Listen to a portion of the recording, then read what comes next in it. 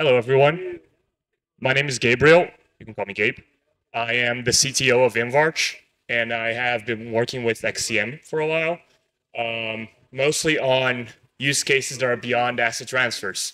So uh, I'm going to present to you today uh, three of those, uh, two that we are working directly with, and then one that uh, it's a proof of concept and uh, and that we would love to have someone someone uh, actually build it uh, for the ecosystem. Uh, so let's get started. So first use case uh, is uh, the the multi-sig uh, the multi-sig module we have on Invarch, which is mainly intended to provide multi-sig functionality to other chains outside of our runtime. Uh, and we do that using XCM. So the idea is instead of uh, instead of having having uh, multisig information, multisig computation running in every single runtime in every parachain, you do this on one chain that then authenticates an account in another chain using XCM and then transacts over it. So this is an overview of how, how that happens. So on top here, uh, this is where the multisig originates. And uh, if we want to transact directly on that same network, we just uh, derive the account using these XCM converters, which I'll, I'll cover in, the, in the, the, next slide. Uh, we derive an account from that. In this case, it's 0x123, uh, transact, and that's, that's uh, all done. Uh, if we want to transact on a different network, though, what we do is we send an XCM call to the, the, the other network, and once it reaches the other network, it goes through that account derivation which uses the same exact XCM converters uh, to derive that same exact account and transact. So the reason why we use these XCM converters in uh, our network too is so we can have the consistent account address. We could just derive it using uh, a simple hash of the multisig ID, but by doing that, we can provide a user experience that's consistent.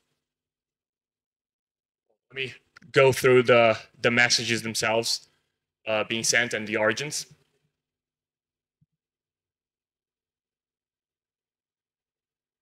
Okay, so this is how we define uh, the location of the multisig. Uh, from the perspective of a parachain, we go up to the, the relay, and then, sorry, that those junctions should be X2, but we go up to the relay chain, and then we, uh, we go down to the para ID of our network, and then we use a plurality to identify the multisig ID. The zero in that in, in that uh, body ID is the multisig ID, and then we can we can uh, also this uh, also show the interior itself that we use uh, in the Pallet XCM, which is just uh, the second part of the interior here. Uh, it's just the multisig identification without uh, the para ID. So just for context, your destination would be another parachain. In this example, parents one goes up to relay and then goes down to, in this example, parachain one, two, three, four. We also declare the, the asset to use to pay fee. Uh, in this case, it's uh, in, it's an asset with index one in parachain one, two, three, four.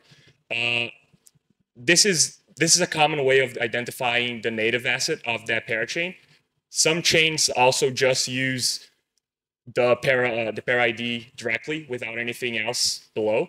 But usually they'll uh, they'll also identify that as the native asset.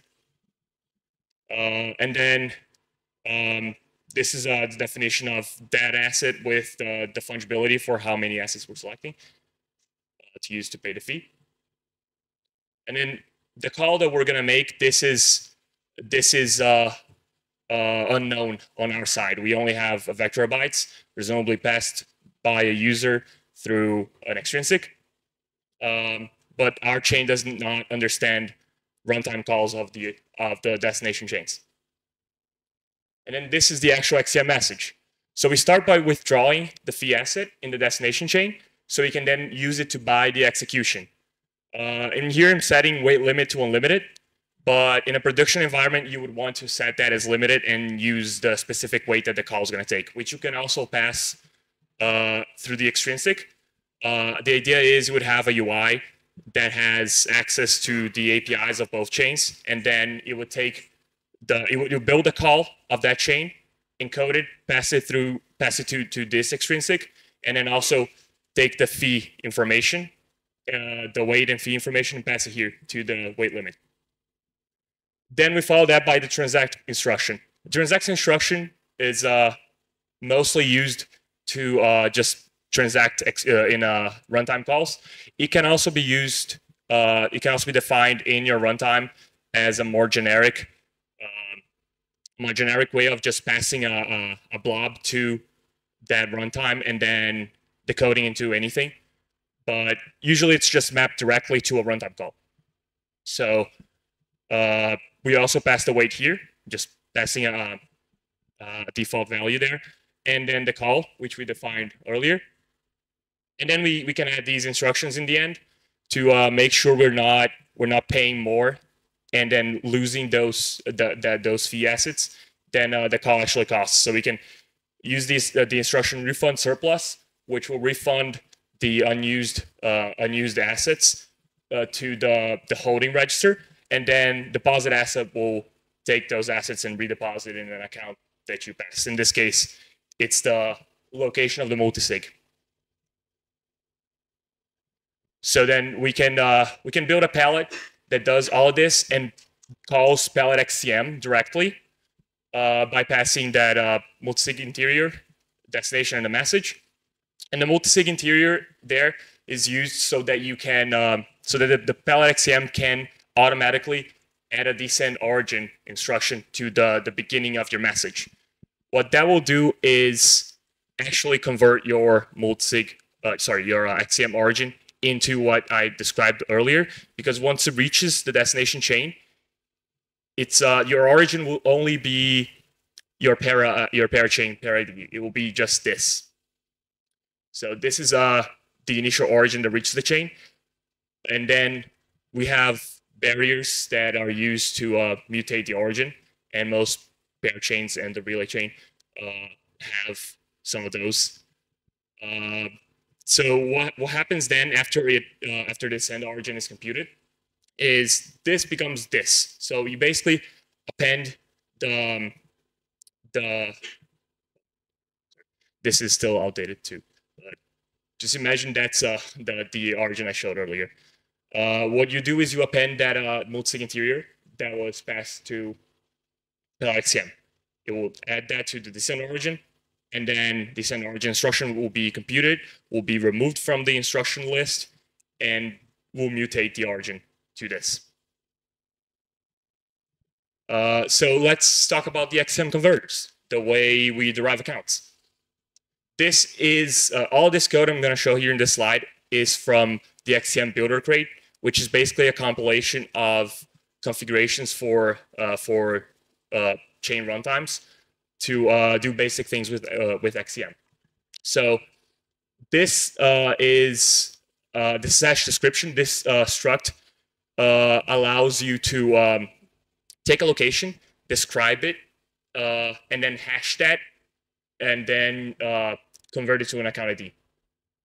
So convert location, input is a location, output is the Blake 2 256 hash of described location transformed into account ID. So in this describe, we can pass another struct, and in this case, that's describe family. So describe family is an initial struct that will uh, that will initiate the description of that location, and then you can pass another further description uh, to be to be added to that. So here, for example, I removed everything else, just leaving this branch of the match. Uh, in this case, parents one, parachain index, uh, which will match our uh, our XCM origin, and then we take that uh, the rest of that, and we we uh, add to the the. Showing the whole thing. Uh, we added to the the rest of the interior there. Uh, so this location will be described as a sibling chain, and then a U32 with a para ID, and then the rest of the of the location, which is down here. So there's a, there's a bunch of these uh, of these structs that are used to describe other um, other kinds of junctions in XCM. But for this use case, we use the describe body terminal, which takes that plurality that has the body ID, and it converts to that final uh, the final description of body ID part, which will then have in the ID, uh, it will have our um, our multisig ID, which is zero in this example. So this is the resulting description. We have sibling chain, uh, compact U32 with a para ID, and then body with the multisig ID. So this gets encoded and then converted into an account, an account ID. And this is how we can ensure that that uh, XCM origin uh, that XCM location will always have the same account uh, in any chain that has that has this hash description with uh, describe family and at least describe body terminal. So that's also why we use it on our side, on our actual chain, so that we can derive the same exact account.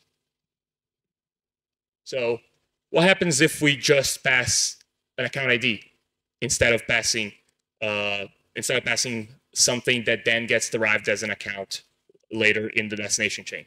Let's let me just give some more context. What if instead of doing this with the multisig ID that then gets derived into an account, what if what happens if we just pass an account here and then want that account to be matched to the same account on the destination?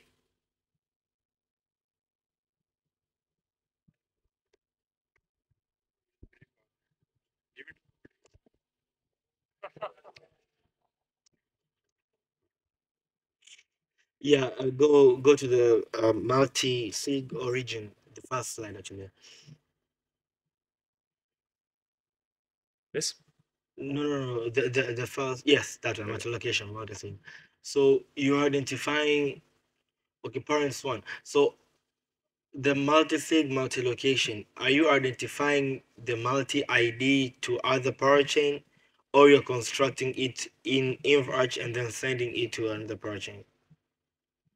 Uh, so this uh, this gets computed by the by the the pallet call function once a multisig calls it. So we have a, a pallet that uh, abstracts on top of pallet XCM even more.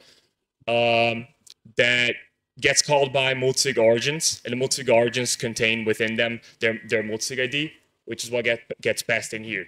Uh, I, I'm just adding a zero here instead of a variable coming from the input just to uh, just for the, So- the explanation. So the, the, the okay, can you iterate on the whole flow?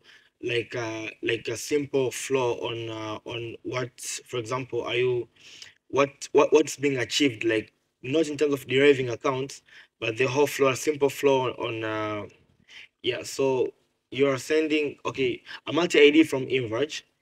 You are sent So imagine this is a multisig on Invarch, okay. and this multisig holds um, holds dot uh, here in HydraDX, and they want to uh, they want to swap that for HDX. okay. They can then make a call here. The all the multisig logic, all the threshold uh, passing, all that happens here. Okay. So we uh, we vote on that call. That call gets gets uh, passed, and then the execution is to to uh, call a pallet that sends the XCM call to HydraDX, and in that uh, in that message, that XCM message, it contains a transact which gets passed here, it derives the account, and then it transacts and it does that swap.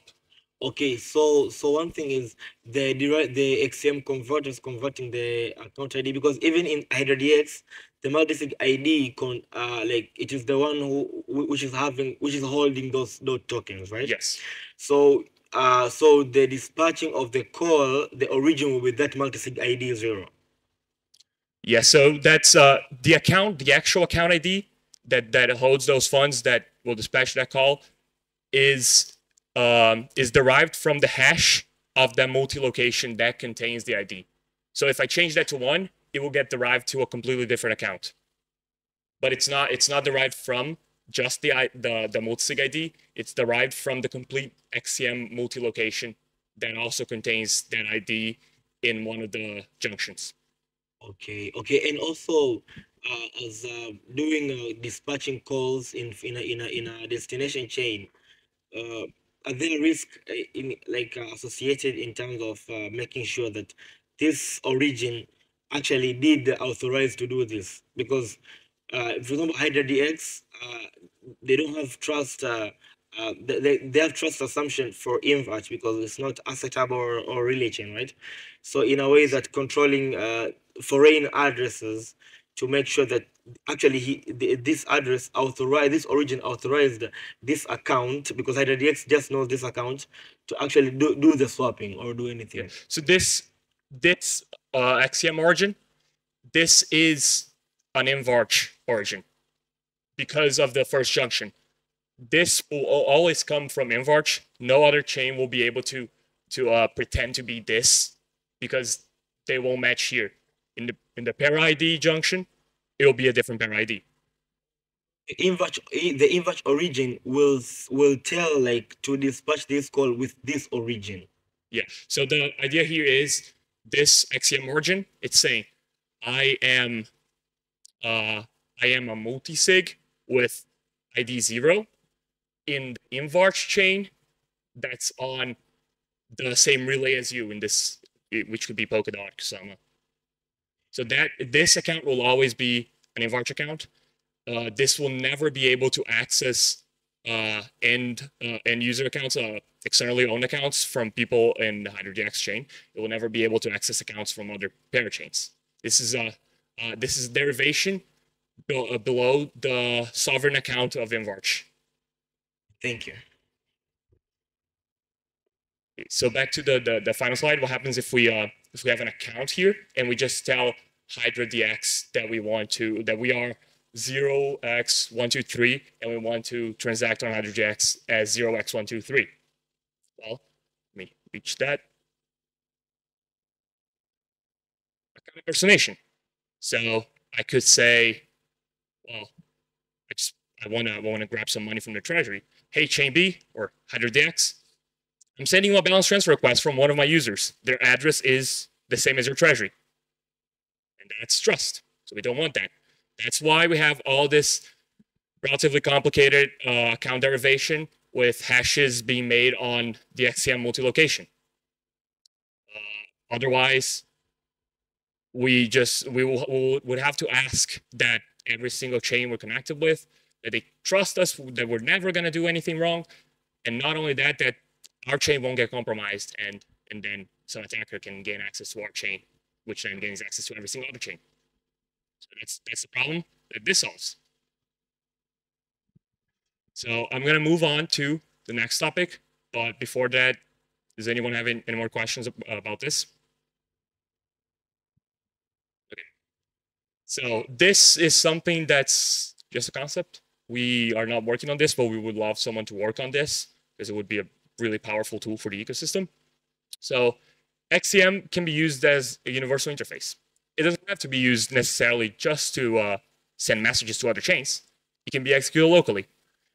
And XCM is a language that has a lot of instructions capable of doing general things that we would want to do in blockchains. So how about we make an XCM powered multi-chain NFT marketplace? So imagine you have a marketplace that can that can list and then allow users to buy and sell NFTs of any uh, standard in any chain uh, in the ecosystem. Any chain that can that can receive uh, an XCM message and execute it. How do we do that? Well, there's an indexer on top of this. This indexer would index XCM locations of NFTs, but the important part is what's below that. The UI will only will only have to understand the XCM API.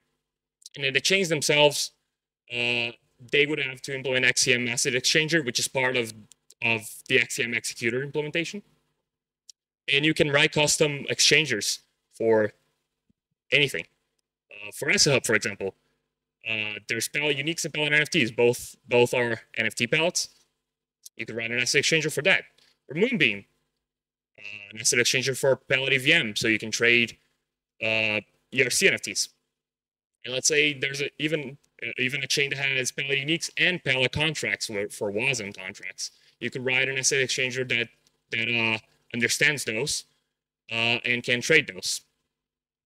So what happens here is you're sending an instruction to this chain, telling uh, telling the chain, hey, I want to sell this NFT or I want to buy this NFT. And that's a standard instruction. That's part of the XCM language. These pallets don't understand that. But this is this is the bridge between that XCM message and the the calls that buy sell NFTs in those pallets. Here's how we can match an NFT. Uh, this uh, this is the uh, multi-asset structure. Uh, I don't know if you guys uh, learned about this in the previous lectures, but this is um, this basically contains a multi-location, so you can uh, so you can match to an actual location of an asset, and then it has a fungibility part that actually says what NFT I want to sell, or if it's a fungible token, how many. Um, so here. Uh, using this, we can we could describe with parent zero. So we're matching this in the, the chain that we are right now. Uh, we could describe an NFT by saying it's something in the pair in this parachain. We don't really need this part, but we can use that to uh, to make sure that we're not sending messages to the wrong chains. We're not trying to buy an NFT that doesn't exist in that chain. And then we go down to a pallet instance. So this is where we would separate between an EVM NFT, uh, Pallet Contracts NFT, or Pallet Uniques Pallet NFTs. We would match this to the pallet ID of that pallet in that chain. And then we go down even further, specifying the collection. This could be uh, an integer ID for pallet, uh, pallet NFTs uh, or other pallets that implement uh, integer IDs for the collections, or it could be a, a general key, which is uh, in this example, a contract ID, uh, the contract address. And then in the fungibility field, we make that a, a non-fungible asset instance NFT ID. This way we can match any kind of NFT, any kind of NFT as long as it has either an integer ID in the collection uh, or a general key, um, uh, vector of bytes, 20 bytes. Uh, and then as long as it has an integer ID. So basically all the standards. So this is how you implement an asset exchanger. Well, let's say, here we go. This is the actual trade. Um, the trade implements one function, exchange asset, uh, the origin, uh, how many assets I'm giving, how many assets, uh, sorry, the assets I'm giving, the assets that I want to receive, and then Maximal describes that uh, if it doesn't match exactly, I want to try to get as many as possible. So let's, uh, let's define a my NFT standard exchanger. Uh, let's say this is using uh, the NFT pallet. If give is a function, uh, uh, fungible, want is a non-fungible, we map that to a sell to a buy function in the NFT pallet. If it's the opposite, we map that to a sell. If it's a non-fungible to non-fungible, we map that to a swap function uh, considering we have the, the ability to swap NFTs. Uh, we could just put an error in there uh, if uh, if that's not possible in that standard. And then fungible to fungible, we just give an error because that's not what we're trying to do here. We're trying to exchange NFTs. And as simple as that, we can just add that to our XCM executor configuration. Um, I know you guys haven't haven't seen this yet. That's in the lectures tomorrow. But basically, this implements everything that uh, that is needed for uh, XCM message interpretation in your runtime. And there's this one uh, trait that's asset exchanger, and it defines how you exchange assets. Usually you'll have something there uh, to, um, sorry, uh, yeah, usually have something there to uh, to do uh, fungible uh, exchanges. There's also asset transactors, and that uh, that's usually for fees. But um, in here you define um, you define then your your NFT exchangers, and bam, you have a runtime that can receive XCM instructions to exchange assets and will exchange NFTs. So you can now build a UI that uh, sends these instructions to that chain, and it doesn't have to understand that if you're trying to buy, sell uh, an EVM NFT, or if it's a Pallet NFT, or whatever, you can just do that because you are delegating the responsibility of actually doing those operations to the chain you're just using a universal language that it's fairly reasonable to expect that chain will implement. If it doesn't, just make it PR. All right. Well, sorry. Any questions on this? Moving forward, XCM NFT origins. Now, this is also something we uh, are working on at Invarch. Um, so we know that it's possible to use XCM to bridge non-fungibles. But if you don't need to do that, if you, all you need to do is know uh, if a user in this chain in, in chain A owns an NFT and then you want to use that information to do something on chain B, then um, then you you don't have to. You can just use XCM for authentication of that information. Uh, in this example, I'm going to show that with uh, I'm going to describe that with a smart contract chain, being the chain where the NFTs are. But you could do the same with a pallet, considering you can uh, you can push pallets to chain A. Uh, in a smart contract chain, it's reasonable to assume that it's permissionless and you can deploy the contract yourself. my arrow's not showing.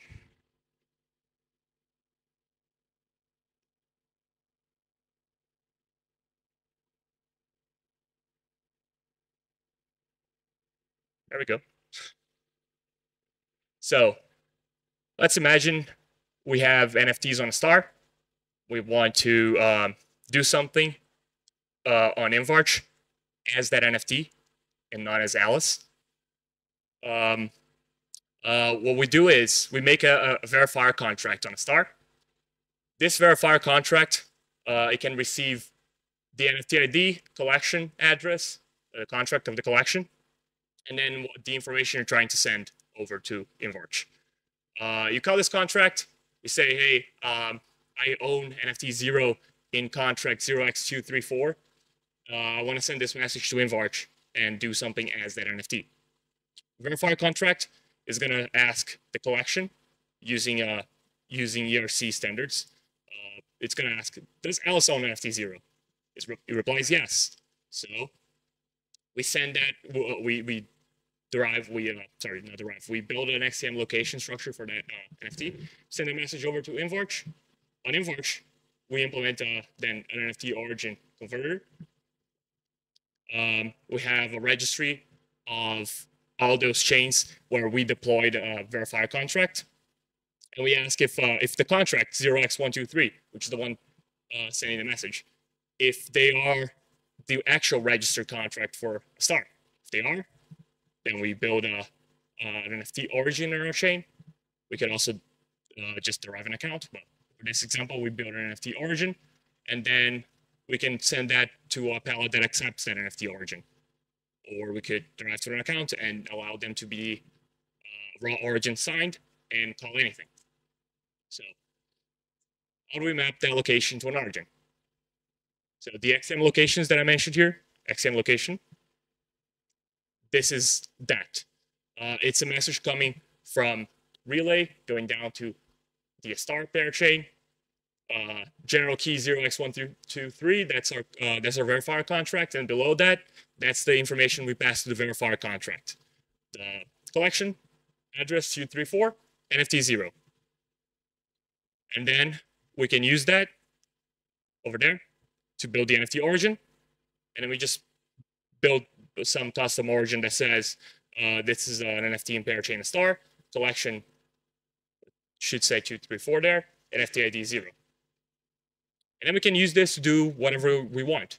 Uh, in Invarch, we're mainly using this to allow NFTs to be members of our multisigs, or expanding on that, to be members of DAOs. So that way we don't have to do any complicated off-chain verification. We can just say, uh, I want to vote on a proposal. I am one of the NFTs that's a member of this, of this DAO. Uh, send a message to Invarch saying, I vote A on this proposal and that's what happens. It reaches there. This is registered as a member of the DAO, and it matches everything. And the vote is listed. The only uh, the only thing to to think here to to to uh, the only issue we we could uh, possibly have is a trust reliance on a star, right? But this reliance would happen regardless, uh, as long as the NFT originated from there we could breach that, but we'll still be we will still be relying on them to uh, not modify any of that.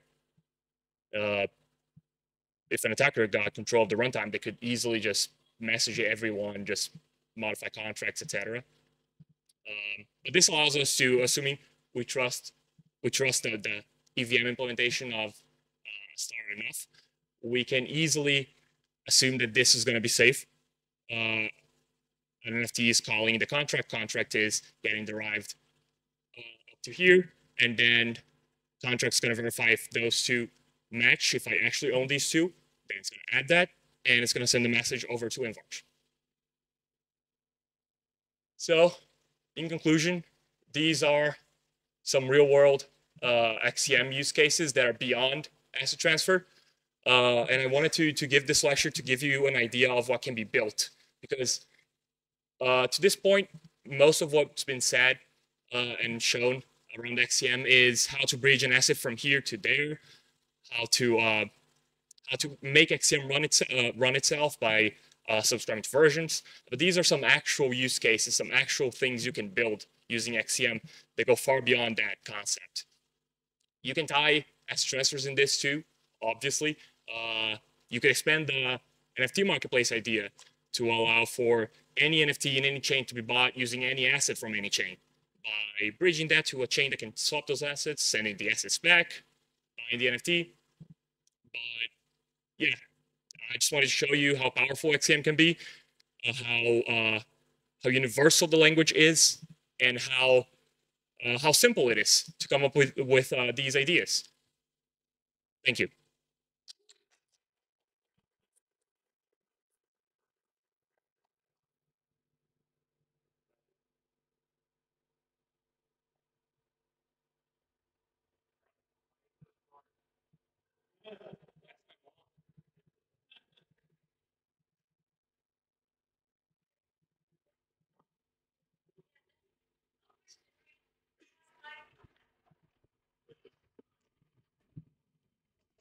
Hey. Hey, Hello. hello. I was wondering if you could give a high-level overview of the difference between the XCM and the IBC protocol of uh, Cosmos. I'm not sure I would be the best to to give you that explanation. I've, I've just started researching IBC myself. Um, do you know? Yes. apples to orange comparison, unfortunately. Uh, IBC is a uh, message transfer uh, transport protocol, where, whereas XCM is a data format or a language. So they're not really comparing the same things. However, um, since uh, XCM is kind of like ag- agnostics to what kind of transport protocols they're actually using, um, what you can actually do is use XCM on top of IBC, and that is completely possible. Thank you. Thank you, Keith.